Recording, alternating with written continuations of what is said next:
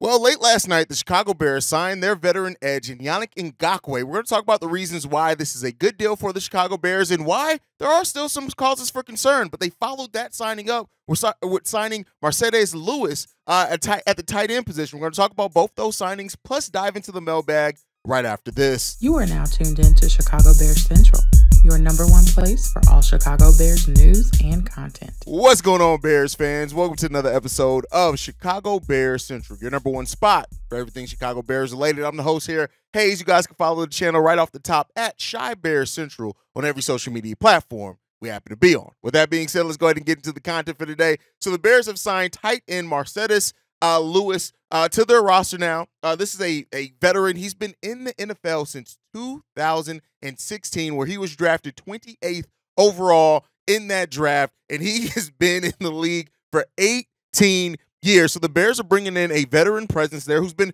more of a of, of a blocker in the, in the, blocking game. He at one point in this time, especially in Jacksonville, he was more of more utilized in that wide receiver. Uh, uh, well, in the receiving part of the game, in the passing game, I guess is what I'm trying to say. Um, and but since then he's been he stayed on. He's been a veteran blocker, uh, those type of things, and in, in, in there playing uh, a little special teams as well. Um, and you know, I don't expect this to be any type of huge signing at all when you look at the Chicago Bears bringing him in. But it, it is one that made sense. It's actually one that was rumor, rumored um, earlier into the season as well. So you know when you look at him, he has a history with a couple of Bears coaches. Uh, he, he's he's there. He has a connection with Luke Getsy playing with him uh, before, and then also the uh, assistant tight end coach in Tim Zett. He's played under him before. So there are enough connections uh, there dating back to the time in Green Bay that it made sense for Marcedes Lewis to come in here He's going to join the tight end room with Robert Tonyan, Cole Kmet. Um, and you know, it, it is what it is. We'll see what happens. We'll see how how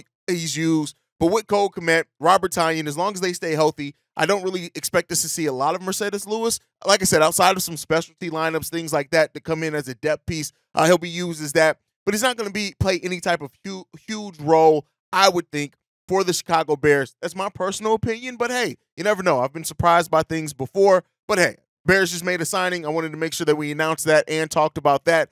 But it all went down last night. One of the biggest speculation points that we've had and questions that we had on what the Bears were going to do. Were they going to add a veteran edge? We got the answer to that last night when it was announced that the Bears signed Yannick Ngakoue to a $10.5 million one year deal, only for one years to come and play one years, one year to come and play for the Chicago Bears. And the reasons why this deal is is right, right? A, we had the money, right? We had the cap space. That's the biggest thing to get experimental. We know that Ryan Poles was hesitant to attach any type of long-term money, especially to a player that you know is 28 years old, which not old in life at any stretch of the imagination. Let me be, make make it clear on that. Hell, it's younger than me. Uh, so, but not old, but still a player that doesn't isn't necessarily going may not factor into the the long term future of the Chicago Bears. Right? They come in now, they get a player at, at, or one of the one year prove it deals that has just every year his career the bare minimum is you can expect from him he's going to get you eight sacks, at least eight sacks in every single year of his NFL career. Last year, nine and a half sacks. The season prior to that, uh, he had 10 sacks. And then the season prior to that, you know, he, he still, like, he is going to get you sacks. That's it. He's going to come in, he's going to he's going to sack the quarterback, and that's just what it is. This is a guy who's going to who comes in at a position of need that brings the needed skill set, right? And so you know, and there's enough to think that maybe this team is going to be good enough in the run running game with the rest of the defensive linemen, who yeah we've heard really good things about, but as well as that linebacking corps, I think we're going to be okay in the running game, and maybe that's the conversation that Matt Eberflus and Ryan Poles had is that yes, Yannick Ngakoue has his own issues. That the is he going to play play and compete every single down, right? Um, the the issues in the running game that he does have that is a legit you know cause for concern with him if this Bears team feels like they're strong enough to withstand his limitations on the field, it makes sense that after uh, uh, two weeks of training camp, basically seven days of training camp, they sat there, they evaluated in their day off, and they went ahead and decided to pull that trigger. This, like I said, this is a this is a no a, a, a low risk deal for the Chicago Bears. It's ten and a half million dollars for one year for a player that's a veteran who comes in, who you expect to at least bring able to bring the thing that you want, and maybe you've had you you you've had the conversations on if your culture can take it. That's one of the biggest things. His attitude, him as a teammate, right? Is that considering the culture that the Chicago Bears are building, do they feel that they already have now the culture to kind of withstand that? I think they do. I think what we've even seen in training camp and heard from training camp from these players, it, it, it it's well within the realm of possibility that the culture that we've built here is strong enough to where they feel that Yannick Ngakoue, a player that is coming in, trying to prove it, going to try to get another long term, will get a long term deal next offseason, whether it be with the Bears or any other team, that he's now, you know, at that level where they think, hey, we're good culture wise. We have a coach. We have players that aren't going to allow the bullshit to come into this locker room. And so Yannick Ngakoue comes in, he brings what we need. Uh, and and let's not make no mistake about it. Yes, he is not nearly as good in the in the in the running game as he is in the passing game. But but there's enough there to think that we're going to be okay with, with even with that, right? And so this also puts kind of everybody back in a more natural position. Trevis Gipson, who is is still trying to get that long term contract and prove what he can be, he's now going to come into a defensive line that is going to have a player that they're going to have to double team Yannick Ngakoue, which when when when Trevis Gipson is out there, it opens up even more opportunity for him. Gervon Dexter, right? Zacch Pickens, Billings, Justin Justin Jones in that interior defensive line, and if they're bringing the pressure like they could, Trevis Gipson could benefit a lot from this. Demarcus Walker also is going to benefit a lot from this, right? And then Dominique Robinson may end up being the odd man out. We'll see what, especially with Terrell Lewis, right? But I think now that the Bears have done enough on that defensive line, I've said it. One of the biggest questions that we still had left was just that defensive line. I think now with the uh, with the addition of Yannick Ngakoue to what we've already heard, how this defensive line is developing. Yes, we need to see it actually happen in games. I think that we've shored up that now as well. The Monsters of the Midway are very well on their way back, at least on paper. See if it's going to come to fruition in real life. But overall, super excited, stoked about this signing. I think this was the, the, the signing that made the most sense for the Chicago Bears. And they may not be done. They may not be done as we continue to go through training camp, and especially you don't know. I don't expect the injury to Demarcus Walker to be anything serious. I haven't heard any rumblings or things like that. Yes, concern from you guys, but I think this, I think I, yeah, just do not be surprised if if there still aren't some tweaks made to the roster as well going forward in the rest of training camp. But okay, enough of me talking about the signings. It's Friday. It's mailbag day, which means we got to get into your voicemails. We got five voicemails today. We're gonna play the first one. This one's from Book. Yo yo yo, Haize, what's up? This Book man. Happy Friday to you and yours. I had, I had called in for a whole different reason, but scratch all that, man. Hey, Yannick Ngakoue, man. We finally got that pass rusher that everybody said that we don't have, even though that defense is looking good. All this does, man, is just make that line better. The Bears defense is going to be killing folks. Folks don't really understand what this means. They already on a trajectory of pointing up. Adding this man takes them to another level. It's going to take Walker to another level. It's going to take Green to another level. It's going to take the secondary to another level. Folks don't get it man, we are starting to become a complete team. Soon as Justin takes that step, and it's been one for the league. But that's all I wanted to say, man. Again, happy Friday. Chicago up. Bear down. Have a blessed weekend, man. And I, I agree with everything that you said there, Book. I think, you know, bringing in Yannick Ngakoue, and one of the things that I didn't talk about in the opening segment as well is it's still going to up this situation for the defense, the offensive lineman that we have, right? You now get to practice against somebody who is going to try to, who's one of the better uh, pass rushing edges in the league, right? One of the most one of the most consistent, I think, is the better way to put it. Uh, pass rushing edges in the league, and so that's going to help our offensive line. That's going to up that standard in practice as well, and uh, I think everybody's going to benefit from it. I think uh, Justin Fields is going to benefit from it as well in practice that he's going to have, and in preparing for the other teams. They can simulate a lot of things in practices, this signing was made at the right time as well. I think when you look at signing him with still a week now uh, before we play our first preseason game, or eight days before we play our first preseason game, I think you're bringing him in now with enough time to really get in the system, which he's already familiar with the system anyway, right? He hasn't played for Matt Eberflus before, but he's played in Matt Eberflus' system. And I think that's going to be the thing that benefits that helps him hit the ground running as one of my lights goes out, hit the ground running and really being able to perform the way the Chicago Bears need him to right away. So that's my thought on that one. Let's get into this next one. This one's from Barry. Hey, Bobby C. Barry here. It's early in the morning, but I am Jack pumped. King Poles does it again. This guy can't miss. We got our edge rusher. I'm not gonna lie you, dude. Man, I was I was getting sweaty before the season. I'm like, all right, I, the Bears don't have that premier edge rusher. I was about ready to sign Lizzo at this point. Anybody that can step in and get some pressure on the quarterback. And Jordan Love, Weasel, if you're listening to this, you can't run and you sure as shit can't hide. We're coming for your ass week one, September 10th. Put it on the calendar. And how good does it feel to have a confident front office? Ryan Poles is surgical. The guy doesn't miss. And compare that with Ryan Pace, he would have given up, what you guys said last night, three years, 42 million. That guy just couldn't, he couldn't hold on to assets. He thought all this money and all these draft picks are burning a hole in his pocket. We got Ryan Poles stacking them like Pokemon cards. The guy can't miss. And that, that Ryan Poles, uh, Pace, sorry, that guy spent more time quaffing his hairdo and spending all the time looking spicy than he did recruiting players.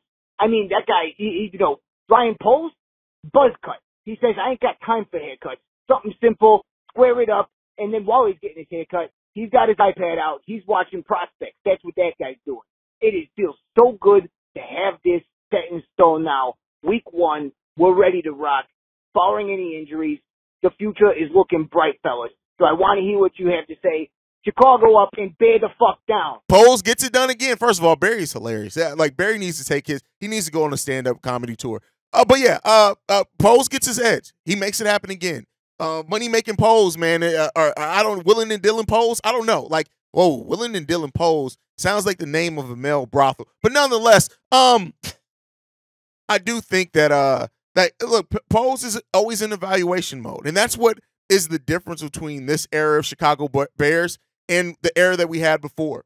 Poles really has a plan and he has certain parameters he needs to hit, but he is not afraid to go out and get guys that he truly feels is going to help improve this football team. That just is what it is. He's not afraid to go out and make the moves that are necessary. Now he's going to do it in his way, right? Because I'm sure that Yannick Ngakoue, who's talked about wanting long-term security and to play for a contender, I, am sure that there were some things said at that deal. But he went out, he got his guy at a good price, and I think he's going to definitely help this team to continue this team. And as far as that weasel out there in Green Bay, Listen, hearing him struggle has been one of the best things, but I'm save that. We got a little bit on that uh, here in the next voicemail, which we're going to go ahead and play now. This one's from Fred. Hey, Zo, what's going on, man? What it do? This your boy Fred, man.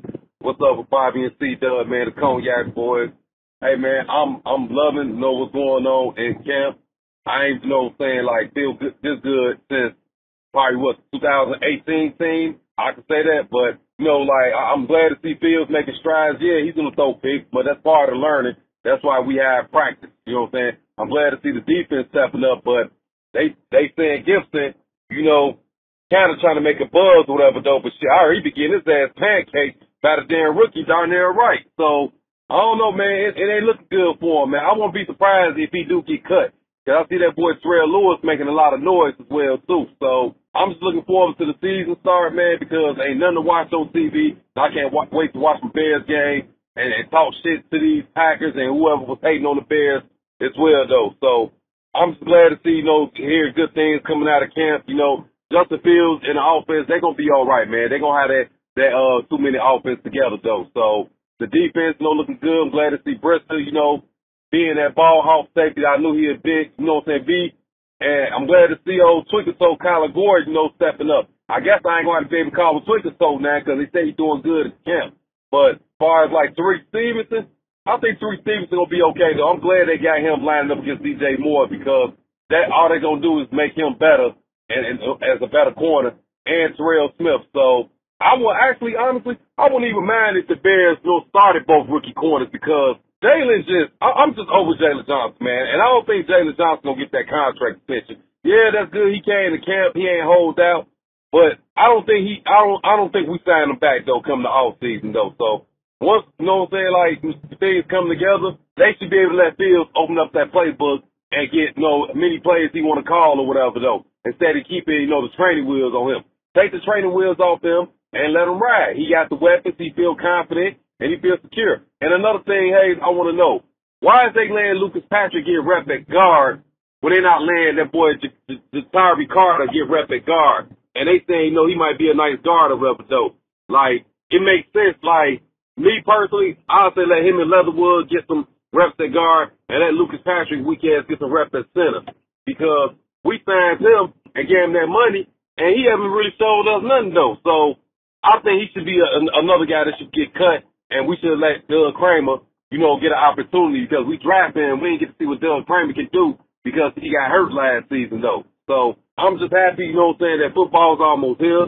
At least we get a preseason game that come uh come on for Thursday, for Thursday night or whatever though. So man, let me know what you think about who's gonna get cut and holler at me, man. And uh, listen, um, I'm excited about a lot with this team. I think that when you look at yeah, the player Kyler Gordon, the player Jaquan Brisker, uh, Terrell Smith, um, uh, coming in Terrell Lewis, right, and Terrell Smith, like uh, pushing Tyrique Stevenson for that that that cornerback position, and you know, I think that all that's right, and I and I ultimately think that what we're seeing from this team, especially the defense, is that this ain't about to be last year's Bears. And I think that that's a big thing. This is not about to be last year's Bears. When you look at how we started off the team was one of the more, I mean, the season, one of the more dis- disciplined defenses, I think that that shows very big for the Chicago Bears. And if we can get back to that on top of up upping our talent level overall, man, I'm super excited about the season right there with you, Fred. I think that this is going to be a fun one. Um, I, I just I, so much like Velus Jones. I like that he's still making plays, right? Like, yeah, we heard the thing of his attitude and stuff like that, but what we've heard is that he's making some plays. Still has has some drops for sure, but he's making some plays also. Um, you know, uh, to, to uh, uh, uh, Tyler Scott making plays and even you know breaking down Jaylon Johnson on a play. Like, there's so much positive hearing about training camp. But here's what I'll say, just to not be negative or negative Nancy or anything like that. Let's just make sure that we kind of wait to get too excited until we actually see how this team performs when they're facing off against other teams. But let's get into this next voicemail. This one's from Coach C. What's up, boys? I've been listening for a while. This Coach C, and I finally finally got fed up and I got to call in, man. I'm so tired of hearing everybody talk about the Bears. I think we're missing a couple points. The first one, I agree with you, Haize, 100% on Kindle Vildor. When I first watched him two years ago, he was the worst Bears defensive back I've ever seen in my life watching football. Last year, he got a little bit better, but it ain't hard to be a little bit better when he was already in the base, right? My guy that I grind an axe with with the Bears that got to get the hell off this roster is Lucas Patrick. He by far is the worst offensive lineman on the Bears last year. People give Sam Mustipher hell. His best attribute was that he was available, right? Lucas Patrick, when he was available, he couldn't block nobody. He is on every D line lineman's highlight tape. They just clubbing and ripping past him on every damn snap. Go back and watch the tape when David Montgomery got hurt. When he got hurt and got his knee twisted up, it was Lucas Patrick who missed the block. This guy just club slammed his ass up out the way and um got to the quarterback. David Montgomery got rolled up on because Patrick missed his block. Now, everybody talk about the competition at DB. I really don't think it's the Lewis and um Stevenson thing. I think what it is because these Bears are weak. The Bears coaches are wickedly brilliant. What they're doing right now is finding out if they got not only one cornerback draft that can start, but if they got two, then what the hell they need Jaylon Johnson for? He ain't about to get paid. He is not about to get paid if the Bears found out they just drafted two quality starting cornerbacks, right? Last point I want to make. Ah, damn it, just forgot. I appreciate you guys. They come back to me. I'm gonna give you guys a call, man. I love listening to your show. I want to add something to it, man. Shot town up like a six piece from Harold's Fried Hard and bear down. See. Lucas Patrick has to go. Here's what I'll say. As a depth piece, I'm not too worried about Lucas Patrick. Now, I do know that his cap is pretty high. Don't get me wrong, but like I think, a Lucas Patrick was hurt a lot last season. Um, so I think that plays a part as well. I'm not saying that he's like this great running, uh, this great um an offensive lineman at all or anything like that, but I am saying that I think in the role that we're going to use him in, I think it's going to be a lot better. And I'm not even going to begin to compare him to Sam Musty Mustipher because the Mustipher was absolute, absolutely atrocious. And I can't even say that Lucas Patrick at his worst was going to be as nearly as bad as what Sam Mustipher was. And then uh, looking up uh, Lucas Patrick's contract, it's it's it's a cap hit of a little over one million dollars. So you know, I no Lucas Patrick. I think for what he's paid, what it's what what how we're going to use him this season. Hopefully, if everybody stays healthy, knock on wood. There, I'm not really too worried about the Lucas Patrick part of it. I'm not too worried about it. Um, but as far as Jaylon Johnson get not getting paid, I tell you what, you have two rookie cornerbacks fighting for that that that second starting position. There is a world in which Ryan, we know what Ryan Poles is always about value, value, value. And if you have two rookies that are fighting for starting positions, and and your your second year man and Kyler Gordon is just uh, is killing it right now, you, you, you may look at that and then say, hey, Jaylon, depending on what you want, I don't know if we got that for you, right?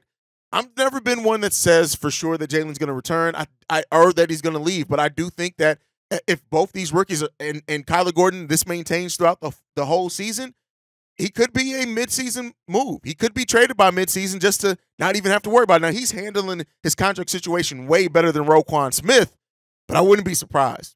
That's my thought process. You guys can let me know what you think down below. All right, let's get into this last one. This one's from Mike from PA. Yo, hey, it's your boy Mike from PA. Big shout out to Bobby and Unc. Oh my God, you guys were killing me when when that dude called in about the Hercules dude up in Green Bay and they're like, homie be eating dog biscuits.